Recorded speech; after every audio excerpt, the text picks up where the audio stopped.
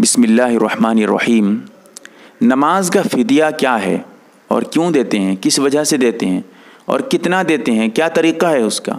मैं बस मुख्तसर बताऊँगा आपको।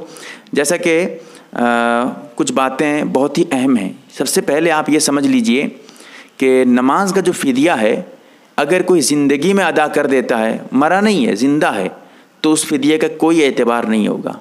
और फ़िदिया ही नहीं होगा। उसको नमाज़ का फ़िदिया कहेंगे नहीं। नमाज़ का फ़िदिया तभी होगा जब वो मरने के बाद अदा किया जाए। अभी मैं बताऊँगा तरीक़ा। और नमाज़ का फ़िदिया इसलिए दिया जाता है, जो नमाज़ें छूट गई हैं, पढ़ नहीं पाया है आदमी, रह गई हैं उसकी उसकी माफ़ी के लिए। और ये जो माफ़ी है, कोई गारंटी नहीं है कि नमाज़ का फ़िदिया अदा कर दे तो अब नमाज़ की पूछताछ क़यामत में नहीं होगी, नमाज़ के बारे में पूछा नहीं जाएगा उसको। नमाज़ का फ़िदिया अगर मरने के बाद उसकी तरफ़ से कोई अदा कर देता है, ऐसा नहीं है कि पूछा नहीं जाएगा। उम्मीद है कि पूछा न जाए। कोई गारंटी नहीं है। उम्मीद है। अल्लाह की ज़ात से जो है, अल्लाह की रहमत से उम्मीद है कि हो सकता है कि इसके बदले में अल्लाह ताला उसको माफ़ कर दें। इसीलिए इस चक्कर में मत रहिए कि नमाज़ पढ़ूँगा नहीं। मरते वक्त पैसा देकर जो है, चला जाऊँगा, फिदिया दे दूँगा नमाज़ का। इसलिए ये चक्कर बिल्कुल हटा दीजिए दिमाग से। क्योंकि ये कोई गारंटी वाली बात नहीं है कि नमाज़ का फिदिया दे देने से नमाज़ माफ़ हो जाएगी। ऐसा कोई इसमें कोई गारंटी नहीं है। हाँ उम्मीद है। वो भी कब? मरने के बाद जब दिया जाएगा, तब। ज़िंदगी में देने से नहीं चलेगा। इसका गुनाह नमाज़ छोड़ने का भी गुनाह मिलेगा अलग से। इसको भी समझिएगा। और इसी तरह एक बात ये भी रखें कि नमाज़ का फिदिया जो अदा करेंगे, पाँच नमाजें फ़र्ज़ हैं और एक वित्र नमाज़ वाजिब हैं। छः नमाज़ों का, एक दिन में छः नमाज़ों का फ़िदिया अदा किया जाता है। और फ़िदिया देंगे किसको? वही जो ज़क़़त वगैरह जिनको देना जायज़ है। ज़क़़त किसको दे सकते हैं, किसको नहीं? एक मुस्तकिल वीडियो मेरी मौजूद है। रमज़ान के वक्त में मैं डाला था, उसको देख लीजिएगा। तो जिन लोगों को ज़क़़त दे सकते हैं, उन्हीं लोगों को ये जो है फ़िदिया, जो नमाज़ का फ़िदिया है, वो भी दे सकते हैं। और उसके साथ साथ जो फ़िदिया देंगे, कितना देंगे? ये पौने दो शेर गंदुम। यानी आज के दौर में अगर वज़न किया जाए किलो के अतबार से, एक किलो 633 ग्राम जो गेहूँ है, अनाज है, उसकी कीमत जितनी आती है, यानी एक सदक़ फ़ितर, एक फ़ितरा, आपके वहाँ फ़ितरा जितना रुपये होता है, मालूम कर लीजिए, चाहे आप गेहूँ दे दीजिए या कोई और चीज़, इतनी ही कीमत की होनी चाहिए, या फिर उतने ही रुपये आप किसी गरीब को दे दीजिए, मदरसे वगैरह में लेकर बता कर दे दीजिए, इससे भी जो है नमाज़ का फ़िदिया अदा हो जाएगा।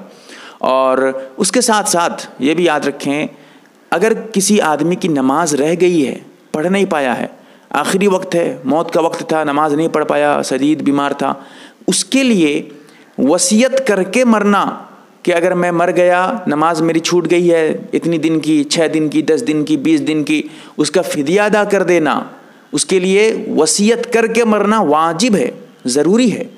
जब वसीयत करके मर जाएगा तो अब जो उसके वारिस होंगे, जो उसके घर वाले होंगे, उसका जो माल वगैरह होगा, जितना छोड़ के वो मरा होगा, उसमें से तिहाई माल में से इस वसीयत को नाफिज करेंगे।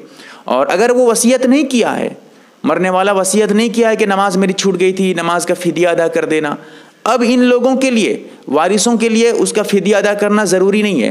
लेकिन अगर वसीयत करके मरा है तो तिहाई माल में से फिदिया अदा करना ज़रूरी होगा।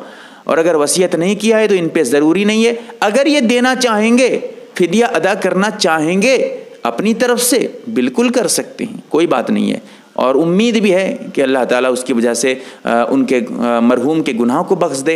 ये जो है मुकम्मल तफसील मैंने बताया है कि फ़िदिया क्या है, नहीं है, उसका क्या तरीक़ा है और किसके लिए है।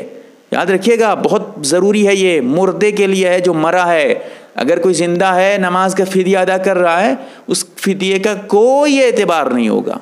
उस फ़िदिये को फ़िदिया ही नहीं कहा जाएगा। उसका जो है, नमाज़ माफ़ी का कोई तरीका नहीं है ज़िंदगी में। ज़िंदगी में तो नमाज़ पढ़नी ही है। माफ़ी का कोई रास्ता नहीं है कि आप पैसे वैसे देकर या फिदिया अदा करके नमाज़ माफ़ कर दें। ऐसा कुछ नहीं है। ये नमाज़ का है। रोज़े का मसला ज़रा अलग है। अल्लाह ताला हम तमाम को सही मसला समझने की तोफ़ी कता फ़रमाए। आमीन या रब्बल यम ए आर बी दीनी मालूम चैनल को सब्सक्राइब करें और घंटी वाले निशान को ज़रूर दबाएँ ताकि हमारी हर नई वीडियो आप तक पहुँचती रहे। वीडियो को लाइक और शेयर ज़रूर करें और हमारी हर वीडियो आप अपने चैनल में डाल सकते हैं। मीज हमारे साथ व्हाट्सएप पर जुड़ने के लिए आप अपना नाम और मुकम्मल एड्रेस के साथ एड लिखकर मेरे WhatsApp number eight nine zero eight nine three nine three four three को मैसेज करें।